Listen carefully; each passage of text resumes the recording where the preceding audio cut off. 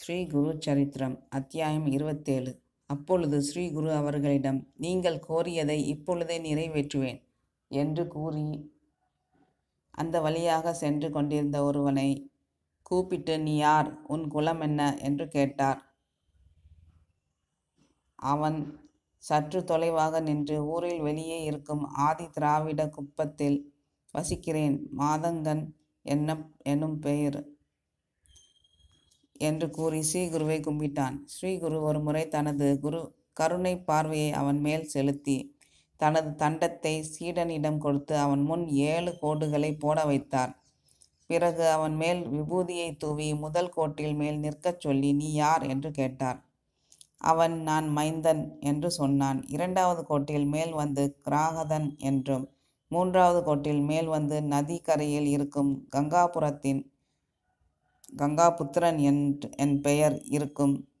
காபு குலத்தை சேர்ந்தவன் என்றும் நான்காவது கோட்டில் மேல் வந்து சூத்திரன் என்றும் ஐந்தாவது கோட்டின் மேல் வந்து சோமதத்தன் என்ற வணிகர் என்றும் ஆறாவது கோட்டில் மேல் வந்து கோதாவரி என்ற சத்திரியன் என்றும் ஏழாவது கோட்டின் மேல் வந்து வேதங்களையும் சாத்திரங்களையும் படித்த பிராமண பண்டிதர் என்றும் கூறினான்.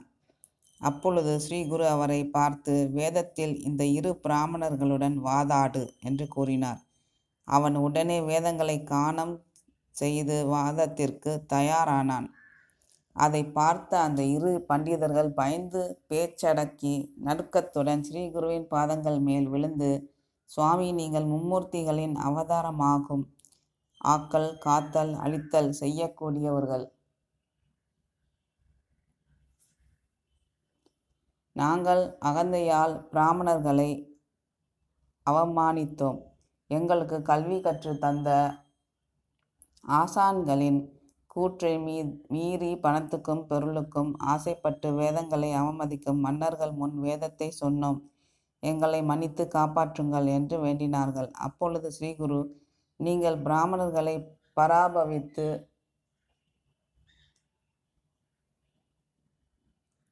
வேத தர்மத்தை அவமதித்தீர்கள்.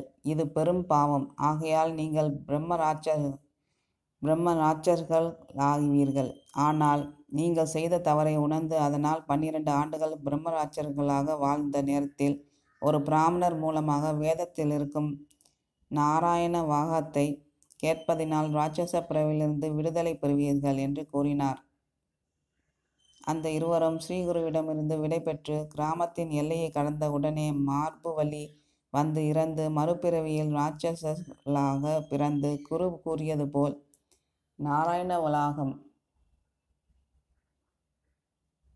கேட்டு நற்கதி அடைந்தார்கள். ஏழு பிறவிகளுக்கும் முன் வேத பண்டிதர் என்ற நினை நினைவு பெற்ற அந்த ஆதி திராவிடர் சுவாமியை வணங்கி குருதேவா நீங்கள் மூன்று காலங்களையும் தெரிந்தவர். நான் முன்பு வேத பண்டிதனாய் பிராமணராய் இருந்தும் இப்படி ஆதி திராவிடராக ஏன் பிறந்தேன் என்று தயவு கூர்ந்து தெரிவியுங்கள் என்று வேண்டினான்.